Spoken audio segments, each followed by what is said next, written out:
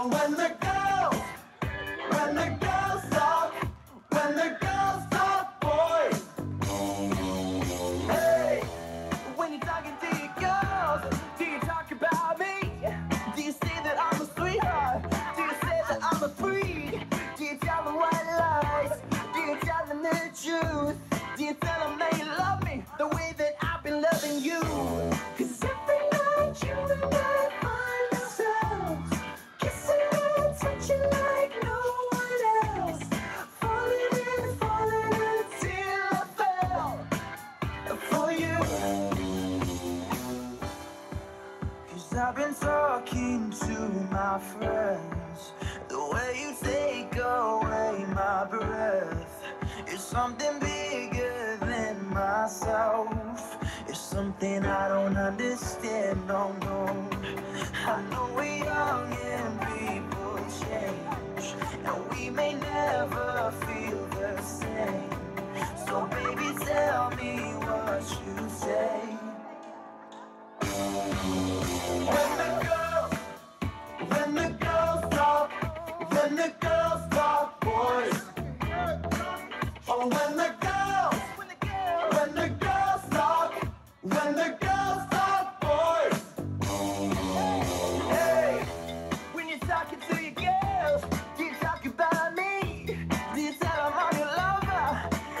That you need? Do you tell them white lies? Or do you tell them the truth? Do you tell them that you love me the way that I feel loving you? Cause every night you and I find ourselves kissing touching like no one else. Falling and falling until I fell for you. Cause I've been talking to my friends. Something bigger than myself. It's something I don't understand, no, no. I know we're young and people change, and we may never feel the same.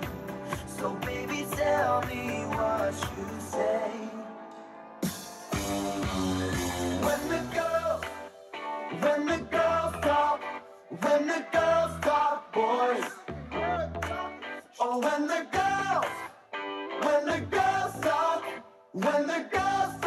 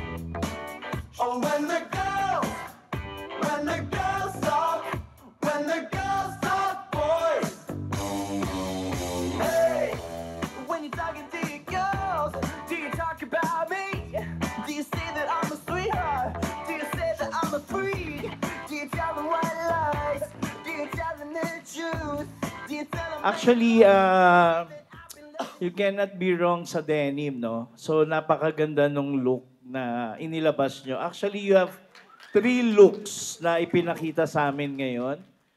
Uh, music, tama. Kumbaga, yung beat ng music at saka yung paglalakad nyo is nasa timing. Choreography, maganda. Okay? Pati sa makeup, ah, actually katabi ko yung expert sa makeup. Ah, actually hindi. Ah, yung ladies, yes. Yung boy natin, sana hindi siya nilipstickan.